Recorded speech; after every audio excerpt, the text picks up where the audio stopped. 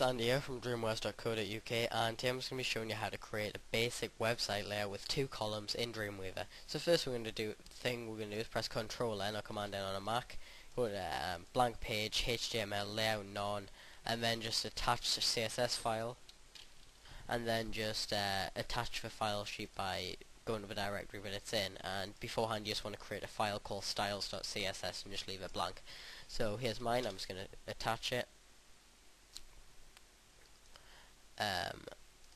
okay and then I'm just gonna hit OK and then I'm gonna hit create and then I'm gonna go to manage uh, sites here create a new site. I'm just gonna call mine YouTube example and then the local root folder I have set up already my YouTube basic web page. Uh, YouTube oh one moment let's see. Okay you YouTube basic web page. Okay, and then we're just gonna hit OK and hit done. And we're now inside our directory. And as you can see, I, uh, I already have a logo and a, um, I just have some images in there. Okay, and we'll have our style sheet. So the first thing we want to do is, uh, if you want, you can change the title or something like uh, home or whatever. It doesn't really matter. First thing we want to do from here is create a uh, div id equals container and then just close that and then uh, forward slash div just to close the div tag there.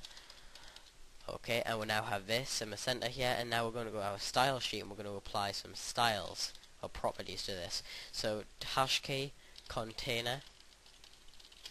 When uh, you create an id div then um, you need to use the hash key and when you create a class div then you need to uh, use like a full stop.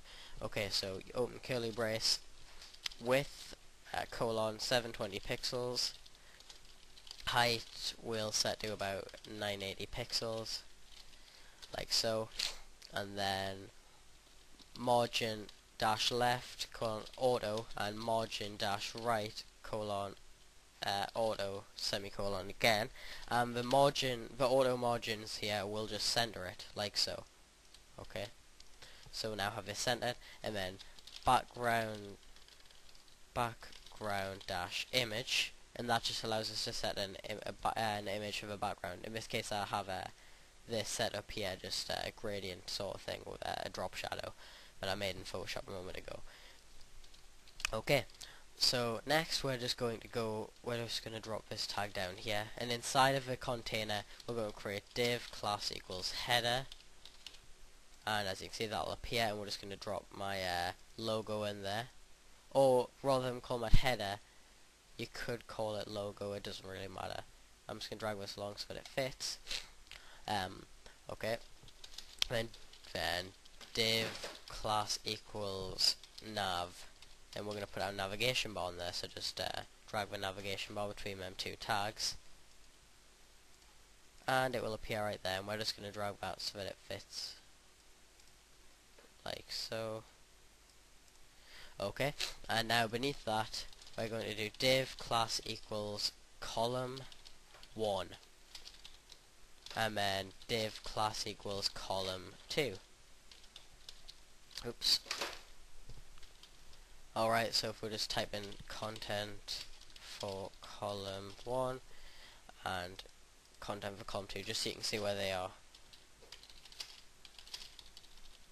So they're at the moment um, above the, uh, like uh, directly beneath and above each other, which is not what we want. We want them to be uh, side by side. We want them to stretch down the page. So we're going to go, we'll go back and to a style sheet here, and we're just going to do dot column one, opening curly brace, um, width about 450 pixels. Height we'll set to 600 pixels or 650 pixels, and then we're going to apply uh, float, we're going to do margin dash left 10 pixels. In fact, we'll leave that for now. We're just going to do float colon left. And we're going to make it float of left and that's very important if we want to set up columns. Okay, so as you can see, here's column 1 and column 2 is still stretched across, so now we need to apply some styles to that. Dot column 2, opening curly brace, width 200 and let's say 20 pixels and height we're going to set the same so that they're parallel to each other. And then float left. We want to we need to make sure we apply the float so that they go next to each other because otherwise with I'll show what happens without that. Without that uh, it'll just be kind of messed up. It won't really work. It'll become distorted. So we need to include this float uh, tag here. And as you can see they're now right next to each other. Okay so now if we apply a border one pixels black uh, solid we'll apply that to both of them. Like so and then if we launch this by pressing F12 oh yeah we're going to save this as index.html okay and as you can see at the moment there's no spaces between them very like they're squashed together and it doesn't look great. So we're just going to apply some more uh, layers uh, some sorry some style properties now.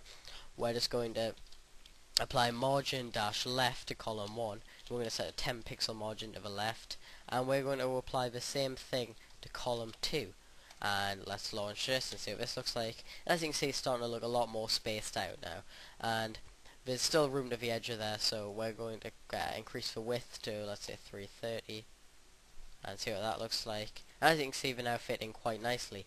So from here it's just a matter of applying let's say a background a background color and we'll just apply a nice uh, dark gray. Like so. To both of the columns. And then if we refresh this we can see we've got kind of we can really see the columns standing out now. And beneath this we might want to create a div class equals footer. Quickly. Like so. And that'll just drop down there so we need to apply some styles so that we're just going to do dot footer and then we'll say uh, float left width of uh, about 670 pixels and margin left 10 pixels margin top 10 pixels. Um, and then let's say the height is going to be about 30 pixels and let's see what this looks like. As you can see we've got this right here. We're now going to increase the width to 680 690 yeah that looks about right. That looks okay. We might increase the uh, increase it to 695 that's fine. And then we again just apply this background maybe a height of about 40 and then increase the top margin to about 20 like so and now we'll launch this. And as you can see we now have a basic uh, layout. We'll have our footer and we'll have two columns and we'll, as well as our navbar and our logo. So I hope this has been helpful. That's about it. Uh, have a nice day